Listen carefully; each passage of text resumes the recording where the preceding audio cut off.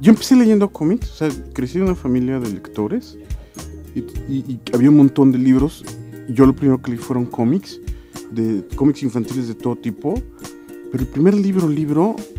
eh, bueno, la historia es que mi papá me sugirió leer Miguel, las aventuras de Miguel Strogoff, que habían hecho las delicias de,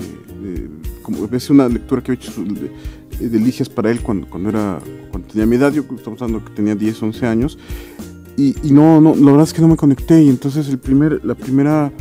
el primer libro para, digamos,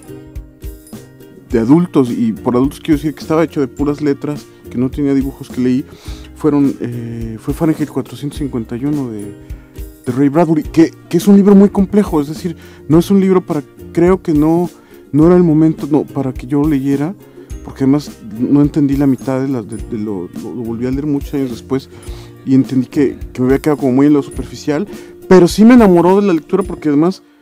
más allá de la anécdota y de la metáfora esta de los, de los bomberos que queman libros, es una gran carta de amor a la lectura. Y entonces fue, creo, una gran entrada al mundo de la lectura haber empezado con Ray Bradbury.